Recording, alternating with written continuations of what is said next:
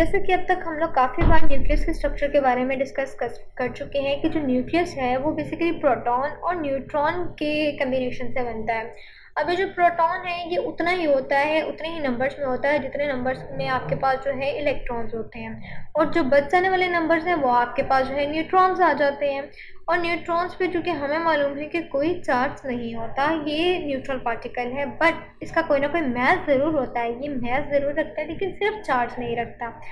अब जब एक मजमू तौर पे एक एक्सपेरिमेंट किया गया, ये फाइंड आउट करने के लिए कि ये बेसिकली जो हमारे पास न्यूक्लियस है, इस न्यूक्लियस का जो मैस है, होना तो ये चाहिए था कि इक्वल होना चाहिए था प्रोटॉन के मैस और न्यूट्रॉन के मैस के इक्वल लेकिन हुआ क्या? जब इसे फाइंड आउट किया गया तो ये जो न्यूक्लियस का मैस है ना, ये कम निकला एज़ कंपेयर के प्रोटॉन और न्यूट्रॉन के मैस के कम्बिनेशन के। अब इसकी एक्सप्लेनेशन क्या पेश की गई? इसकी एक्सप्लेनेशन ये पेश की गई, जो कि आइंस्टाइन ने पेश की, कि जब जो एनर्जी है, उसे उसने बताया कि एम सी स्केयर के इक्वल है। मतलब ये कि जो मैस है, वो एनर्जी में, और जो एनर्जी है, वो मैस में कन्वर्टेबल है। अब क्या हुआ कि न्यूक्लियस की फॉर्मेशन के दौरान कुछ मैस जो है, वो न्यूक्लियस की फॉर्मेशन के दौरान एज अ एनर्जी यूटिलाइज हो जाता है। जिसकी वजह से न्यूक्लियस की मैस में कमी आ जाती है और वो मजमू तौर पे प्रोटॉन और न्यूट्रॉन, जो कि न्यूक्लियॉन्स हैं, उनके एटॉमिक मैस से कम उसका मैस जो है वो निकलता है। तो इसकी वजह एक तो आइंस्टाइन ने बता दी कि भाई जो मैस है वो एनर्जी में और एनर्जी जो है वो मैस में तब्दील हो जाता है। और ज़ाहिर सी बात है न्यूक्लियस की कंस्ट्रक्शन में कुछ ना कुछ तो एनर्जी रिक्वायर्ड हुई होगी ना। न्यूक्लियस के बनने के दौरान जो कि प्रोसीजर चल रहा होगा तो उसमें जो एनर्जी यूटिलाइज हुई, वो इसी मैस में से कुछ अमाउंट में ली गई, जैसे कि हम लोगों जब न्यूक्लियर फिशन के बारे में पढ़ा था तो देखा था कि मजमू तौर पर जो अटोमिक मैस था यूरेनियम का, वो ज़्यादा था एज़ कंपेयर टू बेरियम और क्रिप्टॉन क्यों? क्योंकि वहाँ पे कुछ मैस जो है एनर्जी के फॉर्म में यूटिलाइज हो गया था. यहाँ पर भी सिमिलरली कुछ मैस जो है एनर्जी के फॉर्म में यूटिलाइज हो जाता है. तो एक ऐसा रिएक्शन जिसमें क्या होता है कि आपका जो मैस है वो एनर्जी में कन्वर्ट हो जाए, उसे आप कहते हैं कि ये आपके पास जो है, उसे आप मैथ डिफिक्ट कहते हैं. तो ये वाला रिएक्शन हमारे पास मैस डिफेक्ट हो गया जिसमें क्या हुआ कि हमारा कुछ मैस जो है वो न्यूक्लियस की कंस्ट्रक्शन के दौरान उसके बनने के दौरान एनर्जी की फॉर्म में एमिट हो जाता है। इस वजह से जो मैस है वो कम निकलता है। अब अगर हमें इस मैस डिफेक्ट के बारे में फाइंड आउट करना हो कि ये कितना मैस में कमी आती है जिसे हम लोग मैस डिफेक्ट कहते हैं इसे अगर हम लोगों ने फाइंड आउट करना हो तो हम इसे आराम से फाइंड आउट कर, कर सकते हैं। मैस डिफेक्ट के लिए हमें क्या करना पड़ता है? ये हमारे पास मैस डिफेक्ट आ गया। और मैस डिफेक्ट जो है वो इक्वल हो जाता है mass of nucleons minus mass of nucleus अब अगर इसे मैं एक रिएक्शन की फॉर्म में लिखूँ, एक फॉर्मूले की फॉर्म में तो ऐसे लिख सकती हूँ कि delta M equals to Z M P plus N M N minus M या इसे मैं मज़ीद अगर इजी करके लिखना चाहूँ तो आप उसमें दोनों को क्या कर सकते हैं? जी को भी एन की फॉर्म में लिख सकते हैं। वो आपके लिए और ज़्यादा इजी हो जाएगा। बेसिकली इसमें ये अब जो मेरे पास ये है एम ये जो एम जैसे मैंने लिखा है, ये मेरे पास मैस ऑफ़ न्यूक्लियस है। इसी तरीके से ये मेरे पास जो एम पी है, जिसे मैंने यहाँ पे लिखा है जेड एम पी ये बेसिकली मेरे पास मैस ऑफ़ प्रोटॉन है।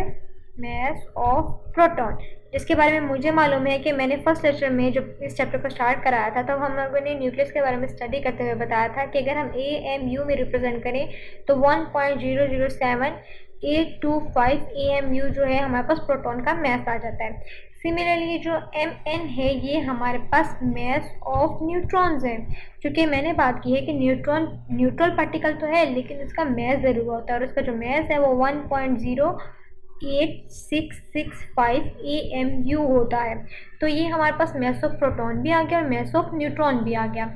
अब बात बचती है कि ये जी क्या है और ये एन क्या है। सी बेसिकली है कि आपके पास कितने नंबर हैं? आपको बेसिकली नंबर बताना है नंबर ऑफ़ प्रोटॉन जितने नंबर ऑफ़ प्रोटॉन हैं, दो हैं, तीन हैं, चार हैं, उसको मल्टीप्लाई करना है प्रोटॉन के मैथ से. सिमिलरली जो एन है आपके पास, ये एन जो है, ये नंबर ऑफ़ न्यूट्रॉन है.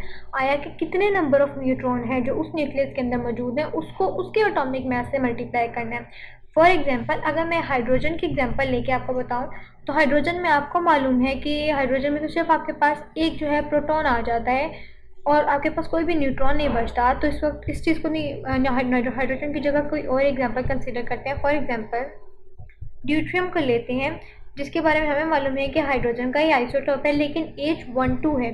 इससे हमें ये मालूम है कि न्यूक्लियस के अंदर जो है एक प्रोटॉन है और एक ही जो है न्यूट्रॉन है। हमारे पास न्यूट्रॉन तो आ गया। अब क्या है? जैसे मैंने बताया है कि डेल्टा एम अगर आपने फाइंड आउट करना हो तो जितने नंबर ऑफ़ प्रोटॉन है, उनको नंबर प्रोटॉन के मैथ से मल्टीप्लाई करो। उसके साथ साथ क्या करो? एडिशन करो। जितने नंबर ऑफ़ न्यूट्रॉन है, उनको न्यूट्रॉन के मैथ के साथ जो है आपने मल्टीप्लाई करना है। फिर इनके एडिशन को, यानी कि इनके कम्बिनेशन को माइनस कर दो। जो न्यूक्लियस का मास है, जो कि आपने मालूम किया है अब क्या होता है कि हमें मालूम है कि प्रोटॉन का जो मैस है, जिसके भी हमने बात की है कि वो one point zero zero seven eight two five है। सिमिलरली यहाँ पे कितना नंबर था? उसका वन नंबर है, जो कि हम लोगों ने न्यूट्रॉन के एग्जांपल कंसिडर किया है। सिमिलरली यहाँ पे न्यूट्रॉन भी वन है, और न्यूट्रॉन को किसे मालूम मल्टीप्लाई करना है? न्यूट्रॉन का जो मैस है, जो कि हमने भी बात की है कि हमारे पास one point zero zero eight six six five A M U है। तो इन दोनों का जो एडिशन है, उसे सब्ट्रैक्ट कर देना है, जो मैथ आपने न्यूक्लियस का एक्सपेरिमेंटली कैलकुलेट किया है।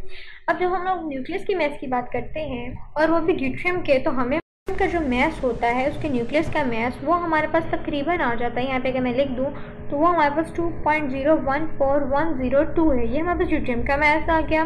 और इन दोनों का जब हम लोग एडिशन ले लेते हैं तो ये हमारे पास two point zero one six four nine minus two point zero one four one zero two आ जाता है। तो इस तरीके से हमारे पास क्या आ जाता है? हमारे पास बाकायदा हमारा आंसर आ जाता है। ये वाली जो हमारे पास चीज़ आई है, ये बेसिकली इन दोनों का हमारे पास एडिशन आ गया ये वाली। और इसमें से हमने माइनस कर दिया हमारे इस वाले आंसर को जो कि हमारे पास पहले था। तो इस तरीके से हमें पता चल जाता है कि आया कि मैथ्स में कितनी कमी आई हुई है। जब हम लोग इनका सब्ट्रैक्शन लेते हैं तो हमारे पास तकरीबन जो आंसर आएगा, वो zero point zero zero two three eight eight M U आ जाएगा। यानी कि हम उसे ये बता सकते हैं, बल्कि यू नहीं, हमारे पास यहाँ पे जस्ट यू आना चाहिए। इनके हमारे पास यहाँ पे बस यू आ जाएगा। और ये हमारे पास मैथ डिफिक्ट आ जाएगा कि कितने हमारे पास जो है वो कितनी अमाउंट निकलती है उस मैथ की जो कि एनर्जी में कन्वर्ट हो गया है। तो इस चीज़ को हम लोग कहते हैं कि ये हमारे पास जो है ये न्यूक्लियर रिएक्शन है, जिसे हम लोग कहते हैं कि ये मैथ डिफेक्ट है, जिसे हम लोग इस तरीके से मालूम कर सकते हैं। इसके साथ ही साथ एक चीज़ हमारे पास होती है बाइंडिंग एनर्जी जो बाइंडिंग एनर्जी होती है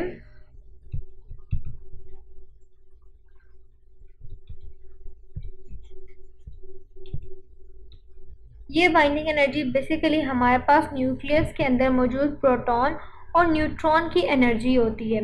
और न्यूट्रॉन और प्रोटॉन को आपस में सेपरेट करने के लिए जो एनर्जी रिक्वायर्ड होती है, उसे हम लोग बाइंडिंग एनर्जी कह देते हैं। मतलब ये बताने के लिए कि आपस में कितने स्ट्रॉन्गली अट्रैक्टेड जुड़े हुए थे उनको आपस में स्प्लिट करने के लिए जो एनर्जी रिक्वायर्ड होगी, आप उसको बाइंडिंग एनर्जी कह सकते हैं।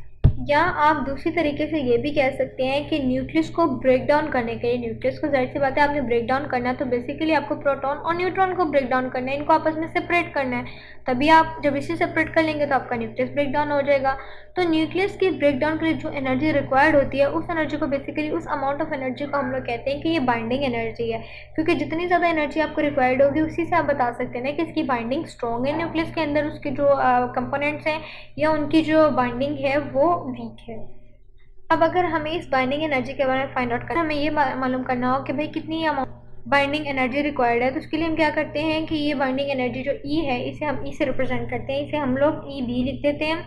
बाइंडिंग एनर्जी अगर इसे हमें मालूम करना हो तो जो हमारे पास मैथ आया है डेल्टा एम जिसे हमने जिसे रिप्रेजेंट किया था, इस पूरे के पूरे फ़ंक्शन को 931 से मल्टीप्लाई कर दें। तो ये हमारे पास उस अमाउंट में एनर्जी निकल आती है। ये बेसिकली हमारे पास किलो जूल में जो है एनर्जी मिल जाती है हमें। क्योंकि मैंने जब लास्ट में हमें मैथ डिफेक्ट के बारे में किया था, जैसे कि अभी पीछे हम लोग कर कर आए हैं तो वहाँ पे हम लोगों ने इसे यू से रिप्रेजेंट किया। यू भी एक एनर्जी का यूनिट होता है। और अगर उसे मैं जूल में कन्वर्ट करना चाहूँ तो मैं लिख सकती हूँ। या आप उसे जो है मेगा इलेक्ट्रॉन वोल्ट में तब्दील करना चाहें तो उसे आप लिख सकते हैं कि one U is equal to आपके पास nine thirty one mega electron volt के इक्वल आ जाता है। तो यहाँ पर अगर आप उसे मल्टीप्लाई करेंगे, जो आपका मैथ डिफिक्ट आया है उसे 931 से मल्टीप्लाई करेंगे। बेसिकली यू की जगह अगर आप ये रिप्लेस कर दें तो आपके पास क्या चीज़ आ जाएगी? आपके पास बाइंडिंग एनर्जी आ जाएगी। आपको पता चल जाएगा कि इतनी अमाउंट में आपके पास जो है, ये एनर्जी जो है रिक्वायर्ड होगी न्यूक्लियस को ब्रेक डाउन करने के लिए। जैसे कि फॉर एग्ज़ाम्पल जब हमने ड्यूट्रियम की एग्ज़ाम्पल कंसिडर की तो हमारे पास जो आंसर आया था, वो हमारे पास zero point zero zero two three eight eight आया था। अगर मैं इस आंसर को, चूँकि ये यू था तो अगर मैं यू की जगह नाइन थर्टी वन प्लेस कर दूँ तो बेसिकली ये जो चीज़ है, ये मेरे बाइंडिंग एनर्जी निकल आएगी और बाइंडिंग एनर्जी जो मेरे पास आएगी, ये मेगा इलेक्ट्रॉन वोल्ट के अंदर आएगी। ये मुझे ये बताएगी कि इतने वोल्ट एनर्जी और रिक्वायर्ड है इस न्यूक्लियस को ब्रेक डाउन करने के लिए। इसके कंपोनेंट न्यूट्र जो है न्यूट्रॉन और प्रोटॉन को सेपरेट करने के लिए आपको मैक्सिमम इतनी एनर्जी रिक्वायर्ड होती है, जो कि 2.224 मेगा इलेक्ट्रॉन वोल्ट है। इतनी ज़्यादा आपको एनर्जी रिक्वायर्ड होगी, तब जाके आपका जो न्यूक्लियस है, ये ब्रेक डाउन होगा। तो इसे हम लोग कहते हैं कि ये बाइंडिंग एनर्जी है और अगर हमारे न्यूक्लियस का मैस न्यूक्लियन के मैस से कम आए तो इस तरह से आता है कि हमारा जो मैस है, वो एनर्जी की फॉर्म में कन्वर्ट हो जाता है, जिसे हम लोग कहते हैं कि हमारे पास मैस है। तो ये दोनों तरह की टर्म जो है, ये आगे हम लोग जो है न्यूक्लियर फ्यूएन में भी देखेंगे, इसलिए हम इसे पहले डिस्कस कर रहे हैं कि हमें पता चल जाए कि बाइंडिंग एनर्जी और मैच डिफेक्ट क्या चीज़ होती है ताकि हम लोग जो है न्यूक्लियर फ्यूएन को आसानी से समझ सकें।